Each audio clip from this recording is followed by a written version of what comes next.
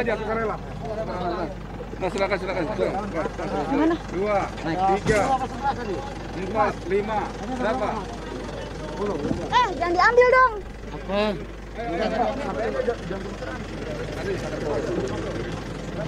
Delapan deh, delapan, delapan. Iya, apaan sih? Enggak, enggak, enggak. Jangan, jangan, Pak. Pak, ada kebarannya beda lagi, Pak. Udah biarin aja. Enggak, enggak, enggak. Enggak, enggak, enggak. Jangan, Pak. Jangan, Pak. Enggak bisa perempuan. Udah, udah. Eh,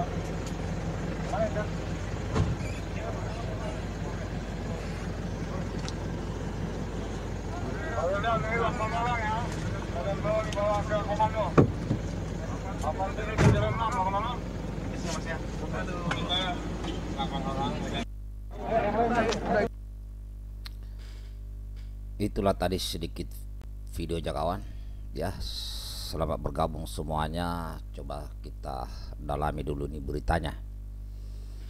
Ya yang belum subscribe silahkan subscribe kawan. Ya jadi di sini saya akan sampaikan terkait aksi yang terjadi di Jakarta ya. Jakarta ini. Baik ini saya ambil dari Tempo ya tempo.co ya tempo.co di sini dikasih judul polisi bubarkan aksi tolak monopoli tanah di hari tani i nasional. Nah itu dari tempo ya saya bacakan. Polisi membubarkan aksi tolak monopoli tanah dan pangan oleh Front Perjuangan Rakyat atau FPR di depan Istana Negara, Jakarta Kamis 23 September 2021. Aksi dalam rangka memperingati Hari Tani Nasional tahun 2021 sekaligus merespon KTT UNFSS yang membahas sistem pangan tersebut berakhir ricu dan dibubarkan polisi dari Tempo oleh Muhammad Hidayat. Nah, itu itu aja. I, anunya kawannya. Tambahannya lagi adalah bahwa itu adalah aksi dari front ya perjuangan rakyat. Nah, di dalam aksi itu dibubarkan dan ada delapan orang masa aksi yang diamankan oleh kepolisian Jakarta Pusat 23 September 2021. Nah, baik saudara-saudaraku, memang ya sebelumnya saya senang dan saya bangga melihat di sini ada uh, aksi menyorakan aspirasi rakyat Indonesia terkait ini masalah monopoli tanah ya dan pangan. Ini dari Tempo. Uh, mak namun di sini ada yang perlu kita harus pahami juga kawan. Ya bahwa ini masih masuk ke pandemi ya ini masih pandemi.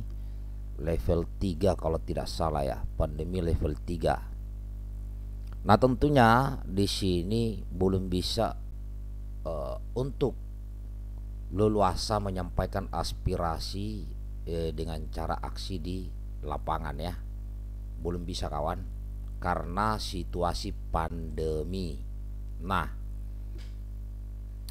mudah-mudahan saudaraku semuanya ini paham terkait ini karena oh, ini dalam rangka untuk menghentikan dulu COVID-19. Ya kita berdoalah semoga COVID-19 ini bisa uh, bisa segera selesai kawannya karena bagaimanapun juga ini adalah perintah dari uh, pemerintah dan di sini polisi menjalankan tugasnya ya menjalankan tugasnya agar tidak semakin melebar pandemi ini mudah-mudahan segera selesai. Ya saya juga sudah lama tidak turun ke jalan ini.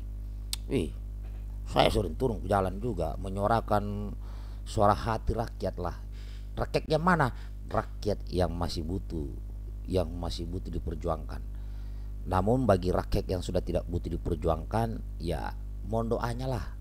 Ya nah, mohon doanya. Tapi yang jelas saat ini kegiatan apa pun dalam hal begini dibubarkan. Eh, kemarin kalau nggak salah ada juga dibubarkan sama polisi itu ya. Karena memang ini situasinya masih pandemi kawannya. Jadi ya bersabar dulu lah. Ya kita berdoalah agar segera pandemi ini selesai. Di karena bagi saya turun aksi ke jalan itu kan salah satu cara menyampaikan aspirasi. Dan saya juga jadikan sebagai eh, tempat silaturahmi saling mengenal yang tadinya tidak saling kenal jadi kenal. Dan tentunya memiliki misi yang sama yaitu menuju Indonesia yang sangat lebih baik lagi. Jadi tolonglah ya kalau ada yang aksi-aksi begini jangan dicemooh kawannya mereka itu kita semua yang melakukan aksi itu bukan untuk kepentingan pribadi tapi ini kepentingan untuk orang banyak. Kayak ini ada aksi begini ter eh, terkait kalau saya judulnya di Tempo itu adalah terkait mono, masalah monopoli tanah. Nah ini kan i, salah satu bentuk penyampaian aspirasi. Ya mungkin lewat medsos mungkin sudah dilakukan ya. Pertemuan-pertemuan sudah dilakukan namun belum direspon maka jalan terakhir adalah aksi. Cuman saat ini ya memang serba repot. Kalau mau aksi sekarang ini apalagi di Jakarta ini kan masih pandemi. Makanya saya udah nggak pernah lagi aksi. Makanya aksi saya sekarang di YouTube dengan di TikTok. Lebih baik bersuara di situ jauh dari COVID ya kan? Namun apa pun itu saya hormat kepada saudaraku yang turun ke jalan menyampaikan aspirasi kebenaran. Yang penting saya selalu berpesan kalau ada aksi-aksi begini kawan jangan sampai ada biasa-biasa sebelumnya itu merusak fasilitas apa eh, fasilitas negara jangan. Karena fasilitas umum itu adalah uang dari hasil pajak rakyat untuk membangun fasilitas itu ya. Dan biasanya tempat-tempat aksi itu sudah ada tempatnya yang sudah disiapkan ya disiapkan khusus eh, untuk melaksanakan aksi ya. Jadi ya kita ikuti aturan yang begitu. Yang penting jangan kita ada uh, melaksanakan kegiatan yang bisa merugikan kayak fasilitas beberapa waktu lalu itu kita sering terkadang melihat juga ada aksi sampai merusak fasilitas umum itu juga tidak baik. Malah orang tidak simpatik dengan uh, apa yang sedang kita perjuangkan. Malah kita dibilang eh, negatif nanti. Padahal niat kita baik yaitu menyampaikan aspirasi untuk kepentingan uh, kebaikan buat semuanya. Tapi karena uh, terkadang ada yang merusak fasilitas umum nah di situ jadi akhirnya eh, yang tadinya orang mau simpatik akhirnya jadi tidak simpatik ya jadi saya ucapkan juga terima kasih saudaraku kawanku yang berjuang turun ke jalan ini FPR ya yang telah terus meneriakkan tentang keadilan apalagi masalah pangan masalah uh, monopoli apa pertanahan masalah agraria ini yang selama ini terus jadi masalah ya masalah permasalahan agraria. Dan ini sudah ada penegasan dari presiden ya terkait masalah mafia tanah ini. Ya jangan sampai ada backingi kalau bisa ditangkap ya ini aja kawan. Ya semoga ke depan semakin baik-baik aja negara kita nih kawan. Tetap semangat. Jaga persatuan Indonesia. NKRI harga mati Bhinneka Tunggal Ika Pancasila ideologi negara kita. Merdeka. Allahu Akbar. Salam hormat buat semuanya. Assalamualaikum warahmatullahi wabarakatuh. Salam sejahtera buat kita semuanya. Sekali lagi merdeka